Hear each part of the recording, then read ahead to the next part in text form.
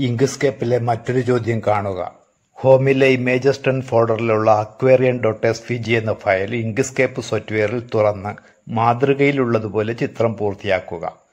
ഹോമിലെ images ten ഫോൾഡറിലുള്ള fish dot P N G എന്ന ചിത്രം ഉൾപ്പെടുത്തുക. മത്സ്യത്തിന്റെ ചിത്രം അക്വേറിയത്തിന് പിറകിലായി ക്രമീകരിക്കുക. അക്വേറിയത്തിലെ വെള്ളത്തിന് മുപ്പത് ശതമാനം ഒപ്പാസിറ്റി നൽകുക. ചിത്രം മുഴുവനായും ഗ്രൂപ്പ് ചെയ്യുക. തയ്യാറാക്കിയ ചിത്രം ഹോമിലെ എക്സാൻഡൻ ഫോൾഡറിൽ നിങ്ങളുടെ രജിസ്റ്റർ നമ്പർ അണ്ടർസ്കോർ ചോദ്യം നമ്പർ എന്ന ഫയൽ നാമം നൽകി പി എൻ ജി ഫോമാറ്റിലേക്ക് എക്സ്പോർട്ട് ചെയ്യുക.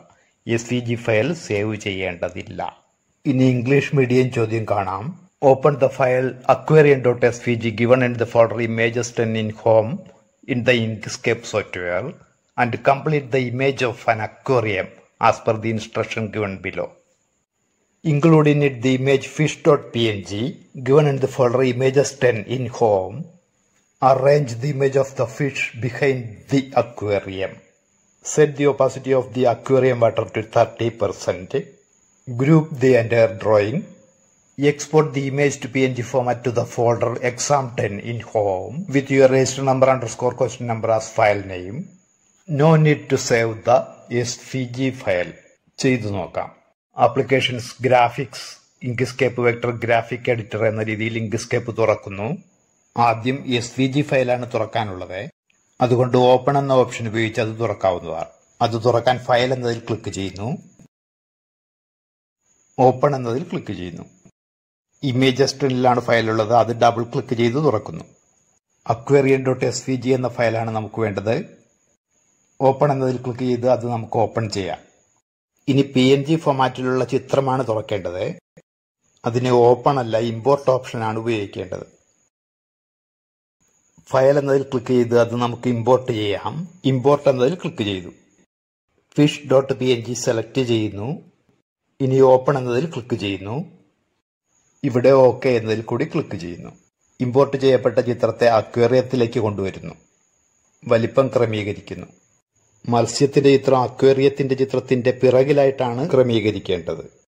അങ്ങനെ ചെയ്യണമെങ്കിൽ മത്സ്യം സെലക്ട് ചെയ്തതിന് ശേഷം ഓബ്ജക്റ്റ് മെനുവിൽ നിന്നും ലോവർ എന്നതിൽ ക്ലിക്ക് ചെയ്യണം. അങ്ങനെ ക്ലിക്ക് ചെയ്യുന്നു. ഇനി അക്വേറിയത്തിലെ വെള്ളത്തിന് മുപ്പത് ശതമാനം ഒപ്പാസിറ്റി നൽകണം. അക്വേറിയത്തിലെ വെള്ളം ഇതാണ്. ക്ലിക്ക് ചെയ്ത് അത് സെലക്ട് ചെയ്യുന്നു. ഒപ്പാസിറ്റി ക്രമീകരിക്കുന്നതിന് ഇവിടെ ഓബ്ജക്റ്റ് എന്നതിൽ ക്ലിക്ക് ചെയ്യുന്നു. ഇവിടെ ഫിൽ ആൻഡ് സ്ട്രോക്ക് എന്നതിൽ ക്ലിക്ക് ചെയ്യുന്നു.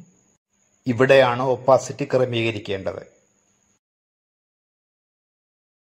ഇപ്പോൾ അത് നൂറ് ശതമാനമാണ്. ഇവിടെ ക്ലിക്ക് ചെയ്ത് അത് മുപ്പത് ശതമാനമാക്കി മാറ്റാൻ കഴിയും. അപ്പോൾ അക്വേറിയത്തിന് വന്ന മാറ്റം ശ്രദ്ധിക്കുക. ഇനി ചിത്രം മുഴുവനായും ഗ്രൂപ്പ് ചെയ്യേണ്ടതുണ്ട്. അങ്ങനെ ചെയ്യണമെങ്കിൽ സെലക്ഷൻ ടൂളിൽ ക്ലിക്ക് ചെയ്യുക. അതിനുശേഷം ചിത്രം മുഴുവനായും ഡ്രാഗ് ചെയ്ത് സെലക്ട് ചെയ്യുന്നു. ഇനി ഓബ്ജക്റ്റ് എന്നതിൽ ക്ലിക്ക് ചെയ്യുക. ഗ്രൂപ്പ് എന്നതിൽ കൂടി ക്ലിക്ക് ചെയ്യുക. ഗ്രൂപ്പ് ചെയ്തു കഴിഞ്ഞു. ഇവിടെ ഇനി എക്സ്പോർട്ട് ചെയ്യുവാനാണ് പറഞ്ഞിട്ടുള്ളത്. എസ് വി ജി ഫോമാറ്റിൽ സേവ് ചെയ്യേണ്ടതില്ലെന്ന് ഇവിടെ പറഞ്ഞിട്ടുമുണ്ട്. എക്സ്പോർട്ട് ചെയ്യുവാനായി ഇവിടെ ഫയൽ എന്നതിൽ ക്ലിക്ക് ചെയ്യുന്നു. Export P N G image എന്നതിൽ ക്ലിക്ക് ചെയ്യുന്നു. ഇനി ആദ്യം എക്സ്പോർട്ട് ആസ് എന്നതിൽ ക്ലിക്ക് ചെയ്ത് സേവ് ചെയ്യേണ്ട പാത്ത് സെലക്ട് ചെയ്ത് കൊടുക്കണം. അത് ഹോമിൽ എക്സാണ്ടനായി സെലക്ട് ചെയ്ത് കൊടുക്കുന്നു. ഇവിടെ നെയിം എന്നതിന്റെ വലതുഭാഗത്തെ ബോക്സിൽ രജിസ്റ്റർ നമ്പർ അണ്ടർസ്കോർ ചോദ്യ നമ്പർ എന്ന രീതിയിൽ പേര് നൽകുന്നു. ഇനി ഇവിടെ സേവ് എന്നതിൽ ക്ലിക്ക് ചെയ്യുന്നു. ഇനി ഇവിടെ എക്സ്പോർട്ട് എന്നതിൽ കൂടി ക്ലിക്ക് ചെയ്യുന്നു. എങ്കിൽ മാത്രമേ ചിത്രം എക്സ്പോർട്ട് ചെയ്യപ്പെടുകയുള്ളൂ. ഹോമിലെ എക്സാണ്ടൻ ഒന്ന് തുറന്നു നോക്കാം. പി എൻ ജി ഫോമാറ്റിൽ എക്സ്പോർട്ട് ചെയ്യപ്പെട്ട ചിത്രം ഇവിടെ വന്നു കഴിഞ്ഞു.